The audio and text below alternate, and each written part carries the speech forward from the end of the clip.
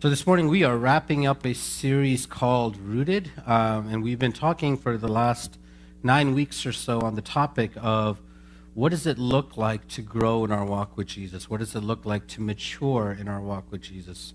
Um, how do I know I'm growing? How do I know I'm maturing? And so we've looked at various different topics of how how do we understand that we're growing? How do we what are habits that we create? And last week we looked at the three core habits that we will never outgrow in our spiritual walk with Jesus. No matter how much we grow, no matter how mature we become, we'll never grow beyond building on the three core habits of reading or listening to God's word, praying, and pursuing worship and fellowship within a church community. No spiritual habit matters more than reading or listening to the Bible. Believe that it's worth it. Start small. Pick a format that works for you and good tools that will help you. And if you struggle, enlist support from others. I'm just recapping what we've talked about last week. The second thing we talked about was prayer. Prayer is both easy, it's hard.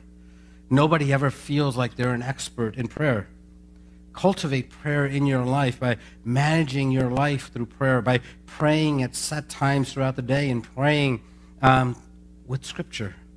And then pursue fellowship and worship within the church body. You need the ministry of the church, even when it's challenging, even when church is messy. And the church also needs you.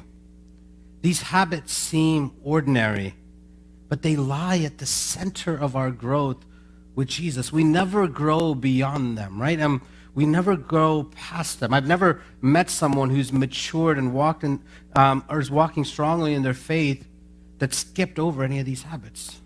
At the same time, I've, if you find someone that's struggling in their walk with Jesus, usually they're struggling in one of these three areas, if not all three. Each one offers a lifetime of growth. After years of reading the Bible, praying, and participating in the life of the church, often we feel like we're still just getting started, that God is still just teaching us something new.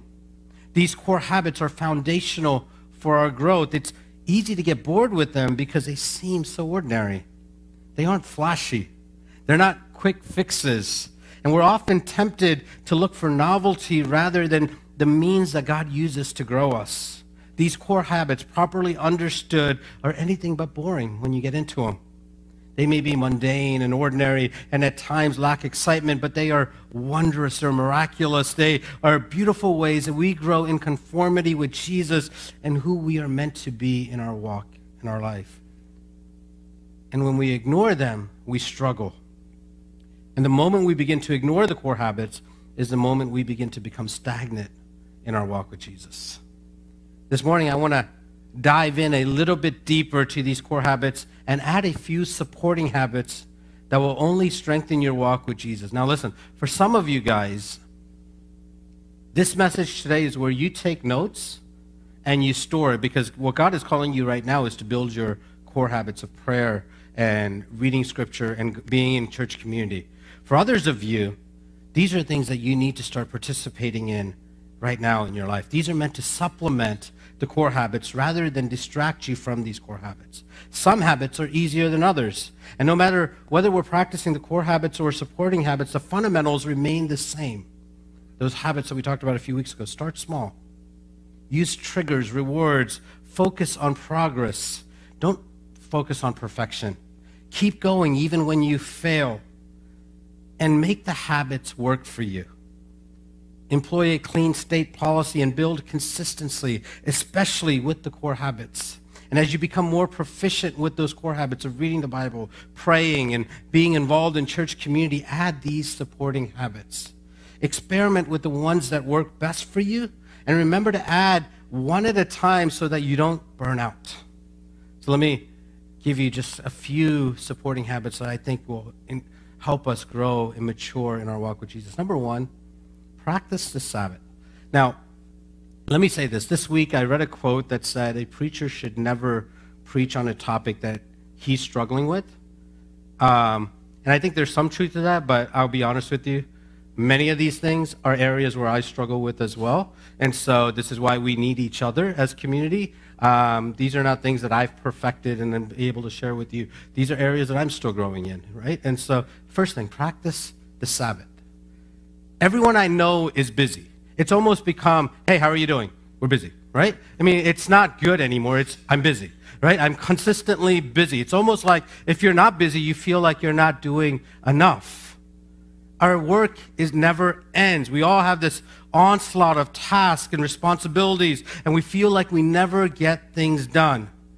And now we carry our work in our pockets and our purses, and it's almost impossible to leave work at work and to get rest when rest is needed. And as a result, we live in this perpetual state of hurry. Dr. Suzanne Koven who practices internal medicine at Massachusetts General Hospital, wrote this. She said, In the past few years, I've, I've observed an epidemic of sorts. Patient after patient suffering from the exact same condition. And the symptoms of this condition include fatigue, irritability, insomnia, anxiety, headaches, heartburn, bowel disturbances, back pain, weight gain. There are no blood tests or x ray diagnosis for this condition, and yet it's easy to recognize. The condition is excessive busyness. And the result isn't just a frantic lifestyle, it's a busy heart. Ultimately, every problem I see in every person I know is a problem of moving too fast for too long in many aspects of their lives. And Scripture says that we counter this epidemic with one countercultural but necessary practice the Sabbath, to rest. Keeping the Sabbath in Scripture is a commandment that is right after or right next to things like don't lie, don't murder, don't commit adultery. By the way, also keep the Sabbath. It's important. Sabbath is a gift from God that we are invited as His followers to receive. Listen to these words in Exodus Remember the Sabbath to keep it holy. Six days you shall labor. Six days you shall labor and do all your work, but the seventh day is a Sabbath to the Lord your God. For in six days the Lord made heaven and earth, the sea, and all that's in them, and rested on the seventh day. Therefore the Lord blessed the Sabbath day and made it holy. God worked, we are to work. God rested, friends, we are to rest. God calls us to rest. The Sabbath calls us to build the doing of nothing into our schedules every week. Nothing measurable is accomplished. And by the world's standards, it's inefficient, unproductive, and useless. As one theologian stated, to fail to see the value of simply being with God and doing nothing is to miss the heartbeat of Christianity. To fail to value, to value simply being with God and doing nothing is to miss the heartbeat of our faith. Sabbath, when lived out, is our means as the people of God to bear witness to bear witness to the way that we understand life, its rhythms, its gifts, its meaning, and ultimate purpose in God. When we observe the Sabbath, we affirm God is the center and the source of our lives. He is the beginning, the middle, the end of our existence. One of the greatest dangers of Sabbath is legalism. When the Jewish folks returned from exile, something changed along the way that, of how they approached the Sabbath. Instead of the Sabbath being a weekly reminder that God's people were waiting for something more, the Sabbath became a rule that they had to keep. Or more precisely, it became 40 rules that they had to keep according to Jewish writings. It was as if they were wearied from the continual battle of toil and curse that God's people took the easy way out. Rather than hoping and looking for something that was coming, somehow they became so focused on what they were doing now. They became, instead of hoping for what God was doing, they settled for a checklist. Cook the food this way, not that way do this, not that. walk this many miles, not that many miles. The day of rest became a day of more burdens instead of a day delighting in God. But hey, if you make the rules, you can feel good about keeping the rules and look down on those who don't, right? And then this obscure Jewish rabbi from Nazareth upsets everything. And he upsets them on the Sabbath, no less. On the Sabbath, his disciples were caught snacking in the grain fields, and the Pharisees rebuke him. And it, Jesus responds to him. He says, The Son of Man is Lord of the Sabbath. On the Sabbath, you see Jesus heal with her hands. He fixes backs. He brings wholeness and healing on that sacred day, pointing forward. He shreds the rule book of the Jews and yet promises the same rest that Sabbath always represented. And that's the point. What Sabbath, what the Sabbath represented, Jesus fulfilled. He is Sabbath in human form. Only He can give what the Sabbath was meant to give. And as the Lord of the Sabbath, he says, Come to me, all of you who are weary and heavy laden, and I will give you rest. There's a book that I read recently called The Emotionally Healthy Leader and Emotionally Healthy Spirituality, and it shares four principles of biblical Sabbath, which I found to be incredibly helpful to me personally. And here's the first thing it says, Stop. Sabbath is first and foremost a day of stopping. To stop is literally built into that Hebrew word Sabbath. Yet most of us can't stop until we're finished with whatever it is that we think we need to do. We need to complete our projects. We need to finish our term papers. We need to answer our emails. We need to return all the phone messages. We need to balance our checkbook. We need to make sure the clothes are washed and put away. There's always one more goal of reaching that needs to be reached before we could stop. And yet on Sabbath, Jesus says, embrace your limits. Realize that you cannot do everything, that God is God, that He is indispensable, that I am His creature, and the world will continue to work fine even when I stop and rest. Friends, you and I, we are called to stop on Sabbath because when we do, we recognize that God is on the throne, assuring us that the world will not fall apart if we cease our activities. Life on this side of heaven is this unfinished symphony we accomplish one goal and then immediately we're confronted with new opportunities and new challenges. But ultimately, we will die with countless unfinished projects and goals. When we die, there will be things that we still haven't finished. And that's okay. God is at work taking care of the universe. He manages quite well before we showed up, and He will manage quite well before after we are gone. Psalm 121 says God never sleeps, that He never rests, that He is constantly watching out for us. The reason you and I can rest, the reason you and I can close our eyes tonight and sleep is because we serve a God who never sleeps. Because we serve a God who is constantly watching out for us. Can you imagine if God took a vacation for an hour? Right? I mean, it, it may, let's just say a day. We say God just decided that he was just going to turn his back on the earth for a day. Can you imagine the chaos that would happen in that day? The reason you and I can sleep, the reason you and I can rest, the reason you and I can stop, because we serve a God who's never stopping watching over us. He is consistently keeping his eyes on us. He keeps watching over us. When we are sleeping, he is still working. And so he commands us to relax. He commands us to rest, to re- enjoy the fact that we are not in charge of His world, that even after we die, the world will continue on nicely without us. Every Sabbath reminds us to be still and know that He is God. Every Sabbath reminds us to stop worrying about tomorrow and all the worries of tomorrow or the day after because your God will provide and take care of you. Friends, when you trust God and obey His commands, He provides. When you follow him, he says he will take care of you. God takes our loaves and our fishes that we offer him, and even though they're insufficient to feed a multitude, somehow he miraculously and invisibly multiplies them. You can trust him enough to rest. So stop. Number two, rest. Once we stop the Sabbath, God, once we stop, the Sabbath calls us to rest. God rested after his work. And he says, You are to do the same. He says, One day of the week you are to rest what do we do to replace all that we're doing during our Sabbath time? The answer is simply whatever delights you or replenishes you, whatever refreshes you. When we stop and rest, we respect our humanity and the image of God in us. We are not nonstop humans. Sadly, it often takes a physical illness such as cancer, a heart attack, a flu, or something even more severe to get us to rest.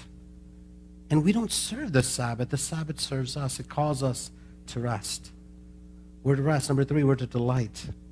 A third component of biblical Sabbath revolves around delighting in what has been given to us by God. God, after finishing his work on creation, proclaimed it was very good. God delighted over his creation. The Hebrew phrase there, when God delights over creation, communicates a sense of joy, completion, wonder, play. God is just joyful. And there is this particularly radical in a culture like ours that's both secular and Christian is this delight deficiency. We do not delight.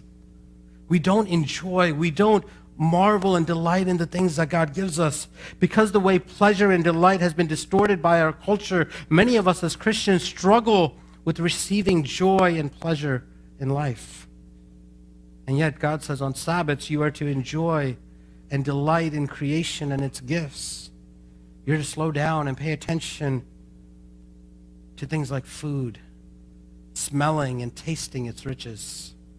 We're to take in and see the beauty of a tree, a leaf, the flowers, the sky that God has masterfully created. He has given us the ability to see and touch and taste and smell and hear that we might feast our senses on the miraculousness of life and the beauty of His creation. On Sabbath, God invites us to slow down and pay attention and delight in people.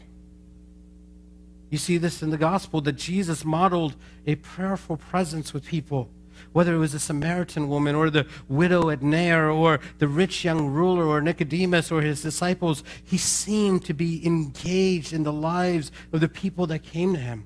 He delighted in them. He wanted to know them. He seemed into the beauty in the men and women who were created in the image of God. He genuinely cared for them. And Sabbath invites us into play. The word chosen by the Greek fathers to describe the unity of the Trinity is this word that basically describes that they're dancing around. Creation and life are, in a sense, God's gift of a playground to us. And whether it's through sports or dance or games or looking at old family pictures or visiting a museum or playing games with your kids or watching a movie together, delighting is a part of Sabbath. And the fourth part of Sabbath is contemplate. The final quality of biblical Sabbath, of course, is the contemplation of God. Scripture says the Sabbath is always holy to God. Pondering on the love of God remains the central focus of our Sabbath. Throughout Jewish and Christian history, Sabbath has included worship with God's people, where we feast on His presence, the reading and study of His Word, and in silence before God. Every Sabbath also serves as a taste of the glorious eternal party of heaven, where there is music and food and beauty that awaits us when we see Him face to face. On every Sabbath, we experience a sampling of something greater that awaits us. Our short earthly lives, a maximum maybe 80, 90 years, are put into perspective as we look forward to the day when God's kingdom will come in all of its fullness and we will enter into eternal rest in God's perfect presence, where we will experience His splendor and greatness and beauty and excellence and glory that's far beyond anything you and I have ever experienced here on this earth. Friends, you and I, we need the Sabbath. We need to rest. We need to communicate in how we live that we're not in control of our lives, but God is, and so we can rest trusting that He will take care of us. When you don't, you burn out really fast. And you sit on the sidelines and you don't do the things that God's called you to do. And then you'll, when you sit on the sidelines and you sit, what ends up happening is you'll look around and complain about everyone else that's doing stuff and you'll bicker and you'll become useless for the kingdom. In fact, you'll become a hindrance to the kingdom. You need to be able to rest. It's a gift from God that you and I desperately need. God gives us permission to step away from work, from busyness, simply enjoy Him and His gifts. It's hardly a burdensome gift, but almost everyone I know looks scared when we talk about it. And that's usually an indication that we need this more than we realize. Let me give you a few suggestions on how to build a practice of Sabbath. Number one, begin to build a regular pattern of rest in your life. If it's too hard to jump to rest for an entire day, begin with an hour or a part of a day. Disengage from work. Begin small. Let go of anything that seems like an obligation to you. If you feel like you need to do it, like you have to answer that email or you have to run that errand or you have to do that chore, don't do it. Just rest. No obligation while resting. Instead, pursue activities that renew you. Pursue things that refresh you. Go for a walk. Visit with friends. Play games with your kids. Pursue a hobby. Pursue activities and people that make you feel more alive. Number three, avoid pseudo rest. There are some activities that aren't rest, they're distractions. They leave us less rested than before. I found that most activities, things like social media or mindless media consumption, don't make me feel more alive than before. Avoid them when you're resting. And as you grow in your ability to let go of work and pursue activities that bring you rest, expand the practice. Aim to build the practice of rest so you can do it for an entire day. Be patient. Keep going when you fail. Build your capacity for rest. Few habits will make more difference in your lives than this one. He wants you not just to do, He wants you to be.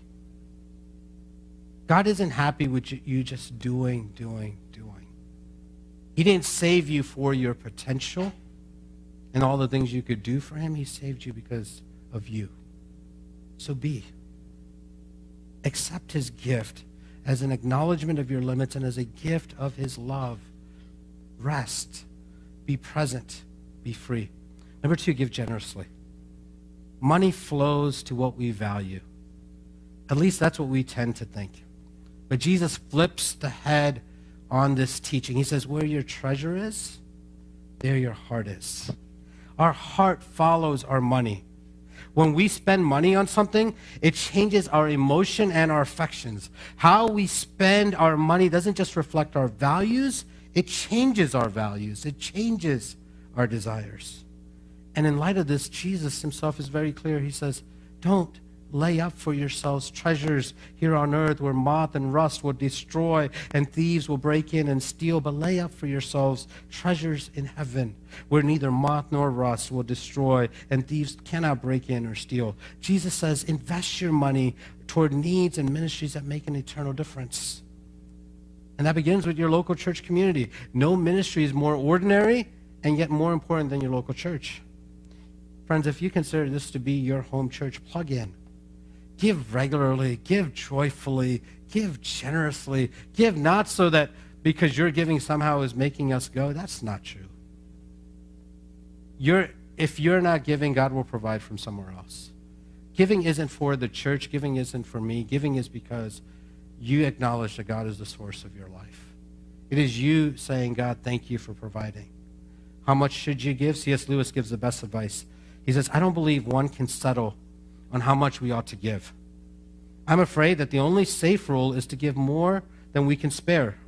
In other words, if our expenditure on comforts and luxuries and amusements is up to the standard common among those with the same income as our own, we're probably giving away too little. If our charities do not at all pinch us or hamper us, I think I should say they are too small. There ought to be things that we should like to do and cannot do because our charities expenditures expenditure excludes them. Give in a way that honors Jesus. In our end, our giving should follow the example of Jesus. Second Corinthians says it this way For you know the grace of our Lord Jesus Christ, that even though he was rich, yet for your sake he became poor, that by his poverty you and I, we can become rich. Not only did Jesus give up the peace, joy, and glory of heaven, but he took on a life of poverty so that you and I could benefit. The gospel frees us to follow his example. So here's some ways to build a habit of generosity. Number one, see everything as God's. See everything as God's. The fact that you have a job today isn't because of your skills or your talents, it's because God gave it to you. The fact that you have money in your bank account isn't because you are wise in saving, it's because God blessed you with it. The fact that you own a home is because God was gracious and kind to you. See everything as God's. In his book, Master Your Money, the first principle that Ron Blue mentions is that God owns it all. When we realize that everything belongs to God, it's a lot easier to give it away. When we realize that everything belongs to God, it's a lot easier to go to God and God, say, God, you gave me this much income. How do you want, what do you want me to do with it? It's yours. Help me to be a steward of it. Number one. Number two, get your spending and debt under, under control. A reason a lot of us aren't able to give generously is because we're in debt and we're getting into more debt and we have no margin. Tackling that problem takes courage, a plan, support, and time. And there are a ton of great resources out there to help you, and you will feel better knowing that you're not paying a credit card company. Get your debt under control. Number three, start small. Assess your resources and ask, what would a generous amount be for me to give right now? Don't wait until you have money to be generous. The reality is you'll never start. Right? I mean, if you get more money, you'll get more expenses, and then you won't give there. Start where you are. If it's a dollar, it's a dollar. If it's five dollars, it's five dollars. God isn't interested in what you give. God is interested in your heart. Right? He loves a cheerful giver. Follow the same habits that we talked about for building habits. Start small.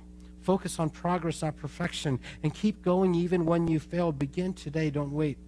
And number four, set a goal. I find a long term vision helpful especially when my immediate situation is challenging. I don't know if I'll ever make it, but I love the idea of reverse tithing, where I get to keep 10% and then be able to give away 90%. I don't know if I'll ever get there, but that's a fascinating concept for me. Set a goal, work toward it. Start where you are and grow from there. Speaking of tithing, some people think that tithing is an Old Testament practice that no longer applies to us today. Others of you see it as a um, if that bar was set for 10% for those who didn't know Jesus, shouldn't the bar be higher for us? Shouldn't we be saying, God, how can I be a blessing to others? How can I give in a way that others are blessed and encouraged? It doesn't necessarily have to be money to the church. Are you opening your homes to invite people in and sharing a meal? Are you taking people out where it costs you something? And you say, I'm doing this because I love God and I love people. Develop the habit of generosity. Start where you are. Ask God to shape your heart as He shapes your use of your money. Number three, serve others. Listen to these following scriptures John 13. If I then, your Lord and teacher, have washed your feet, you also ought to wash one another's feet. For I have given you an example that you should do just as I have done to you. Mark 10. Whoever would be great among you must be your servant, and whoever would be first among you must be the slave of all. First Peter, each of you have received a gift. Use it to serve one another as good stewards of God's varied grace. The Apostle Paul compares us to the body where each part of us has a role to play. The church needs you to play your role. Without your contribution, the church will miss out. And that isn't easy. It runs against our natural selfishness. I'd rather be served than serve.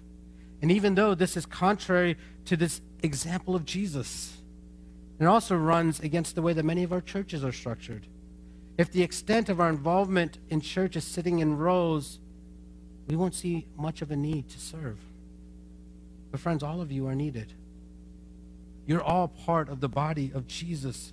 Not only do you rob the church when you don't serve, but you disobey Scripture and you rob yourself. Studies show that serving God and others is correlated with the characteristics of a mature believer. The way to begin serving is to just start. Spiritual gifts can help, but it's so much easier to just get going. Pitch in where it's needed.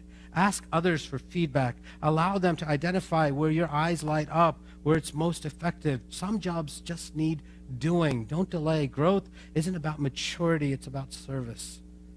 So here's some ways to get started. Look for opportunities to serve, both in the church and in the community. Don't wait to be asked. Find ways where you can serve. Number two, focus on these two things what you do well and what you gives you passion. You don't need to take a spiritual test for that. You know what you do well. You know what you enjoy. Serve there. Don't become focused on finding the right service opportunity. Whenever possible, just pitch in, serve where needed. Number four, ask others for feedback. Ask others to help you. Say, hey, where do you think I could serve well? Where do you think my I can get plugged in? Ask them for feedback. All right, next thing, share the gospel. The word evangelism is a terrible following. He said, I find evangelism hard. The problem with being an evangelist is that people assume that I, evangelism for me is effortless, but I don't find it easy, and I never have. For me, telling people about Jesus has often been nerve wracking, and yet at the same time, it's been the most joyful. I shared about this lady, Rosaria Butterfield, a few weeks ago. Um, she wrote a book called The Gospel Comes with a Key. And in her book, she shares about the story of a pastor by the name of Ken Smith. Pastor Smith wrote a letter to a writer um, of an article who wrote a hostile letter against a Christian ministry. And in his letter, he didn't argue with her, he just simply asked questions. And he gently invited her to think in ways that she hadn't thought before. And when the writer called him to talk to him, the pastor invites her over for dinner. She arrives and they begin to cultivate a friendship. They listen to each other, they dialogue. She didn't feel like a project, she felt like a friend. And the pastor never even invited her to church. She just learned that it was safe to explore Christianity with him. So much I loved about that story. First of all, he engages with someone who's hostile, but he isn't antagonistic. He respected her, asked her questions. It was unexpected that the writer didn't even know what to do with that. When we discover someone who's hostile to Christianity, it's an opportunity for us not to freak out and panic, but instead to engage thoughtfully and respectfully. Second, he invites her into her home. I've never been more convinced that the key to evangelism in the 21st century is one word hospitality. It's not mass crusades. It's not passing tracts out on the road. It's hospitality. It's just inviting someone into your home. It's just saying, hey, I want to get to know you. Come hang out with us. Have dinner with us. Let's, let's just get to know each other. Increasingly, the most strategic turf to which to engage unbelievers with the good news of Jesus will be the turf of your own homes. When's the last time you've had an unbeliever in your home? When's the last time you just invited a neighbor and said, hey, let's just talk? Let's just get to know each other. And this shouldn't come as a surprise because look at the ministry of Jesus. You see a lot of food. You see a lot of hospitality. It is the key to sharing our faith is engaging and inviting. And notice, Ken doesn't also stick to the script. He didn't start by sharing the gospel. He didn't invite her to church. He didn't treat her like a project. He intentionally made space for her to talk about Jesus. Don't get me wrong, I'm all about sharing the great news of the gospel with people, and I'm, I'm all about inviting people to church. But that shouldn't be your ultimate goal. Don't artificially pressure people and make them projects. All right, I've tried to invite them, and I'm going to give up and move on to the next one. They can see right through you. Love people embrace people. When I think about evangelism as sharing the gospel with people who don't want to hear it, it clams me up. It freaks me out. But when I think about sharing the gospel as extending hospitality over food, asking good questions, praying, sensing what the Holy Spirit is doing, there's something exciting about that. There's something genuine about that. It's something that all of us can do. You know, we have several folks here, they're serving on campus. We have a campus right down the street that has thousands of thousands of international students who, for years, will be here. And they will never get invited into a home here. What an opportunity for us to just simply say, hey, you're on Thanksgiving break. Why don't you come over to our house for Thanksgiving? Connect with these guys who are serving on campus and say, do you know students are not going? Invite them. Genuinely care for them embrace them. You know what the number one argument with international students are about why they want to leave America so quickly? In the years that they're here, no one has ever invited them to their home. And so they leave here hating the country. What an opportunity for us to say, you know, we're not just extending love to you for the sake of extending love to you. We're extending love to you because this is what Jesus did to us. He invited us in. We're inviting you in, and we want you to experience the love of Jesus and how in us sharing a meal with you. So some practical ways, building habits of sharing the gospel. Extend hospitality to people who aren't following Jesus. Lean into these relationships, especially with people who seem far away from God. Make them a regular part of your life. Invite them into your home. Invite them into your community. Become friends with them. Number two, ask good questions. Be respectful. Listen more than you talk. Number three, pray regularly for the people who are resistant and curious. Ask God to work in their lives. Who are you praying for today that doesn't know Jesus? Refuse to see people as projects. Love them lavishly, regardless of whether they follow Jesus or don't follow Jesus. Remember the thief on the cross? He died. He came to Jesus right before he died. There might be some people in your life that you might spend years investing. And there might be one random day that they will encounter Jesus. He isn't calling you to make converts, He's calling you to be faithful. Be faithful. Don't feel like you have to follow a script. Listen to the voice of the Holy Spirit and ask the Holy Spirit to give you courage to speak clearly and openly about the gospel when the time is right.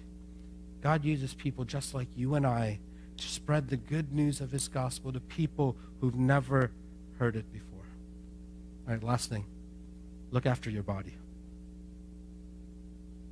The gospel is meant to change every aspect of our lives. Looking after our bodies is an important part of our stewardship before God for so many reasons. We're embodied beings, and we need to discover a high view of our body as important part of what it means to be human. Because we belong to God, our bodies have become His property and His residence, and we are responsible to look after them. You cannot function well in other areas of your life, including spiritually, if you don't take care of yourself. There's a passage in 1 Timothy 4 that says, Train yourself for godliness, for while bodily training is of some value, godliness is of value in every way, as it holds the promise of eternal life and also for life to come. Now, some people have misunderstood that and say, only focus on the spiritual, ignore the body. But that's not what the passage is saying. It says that bodily training is of some value. It's not as important as godliness, which will matter a lot longer than your physical health, but you still need to take care of yourself. Your bodies matter. It's important that you develop habits that will help you look after your body. So, a few ways to start. Number one, develop good eating habits. The Bible addresses that this is a spiritual issue. Proverbs 23, if you want to look at it, Proverbs 23, 19 and 21. Eat slowly. Enjoy food more. Enjoy the food that's been put before you. Eat with other folks so that you're fellowshipping and even your meals become sacred. Move around. Take a walk. Engage in an activity you enjoy. Play sports. Hang, mm, exercise. Start where you are. Build from there. Number three, get enough sleep. There are few things as theological as sleep. David Murray said that, and I think he's right. Sleep reveals what we believe about God. I just said this earlier. We sleep because we know that God doesn't. Because God has given you important work and He wants you to steward, because God has given you important work, He wants you to steward your body well. So get sleep that you need and trust God to complete what you're unable to do. You need to rest. If you're unhealthy because you didn't take care of your body and you become sitting on the sidelines, you become ineffective for the kingdom. Take care of yourselves. There's some really, really good books if you want to dive deeper into this. There's one that's called Full Food, Jesus, and the Battle for Satisfaction is a really, really good book. Another one called Reset Living a Grace Paced Life in a Burnout Culture. These are really good resources if you really want to dive into this. Let me conclude. I've given you three core habits reading the Bible, reading and listening to the Bible, praying, going to church. Five supporting habits. If you try to implement these all at once, you will fail. You will burn out. Don't even start on these supporting habits till you've begun starting the practice of the core habits. Keep working on those. These habits can wait until you're ready to address them. Once you have the core habits working well, start to focus on one of these supporting habits at a time. Pick one. Use the same guidelines that we talked about for learning the core habits. Start small. Shape your environment. Use triggers and rewards. Pursue progress instead of perfection. Wipe the slate clean when you fail. What you do consistently matters more than what you do irregularly. When we work these habits into our lives, they begin to work on us. They will put us in paths of God's grace where we sense God working in our lives day in and day out. Build habits, and they will build you. A few weeks ago, in one of our passages, we looked at 2 Peter, where we were reminded that God's divine power has given us everything that we needed for life and godliness. Friends, God has given you what you need so that you can grow in your walk with Jesus. As we close out the series, let me just say a few final things. Number one, practice the right disciplines with the right goals. The goal is Jesus, pursuing intimacy with Jesus and become conforming, conforming into the image of Jesus.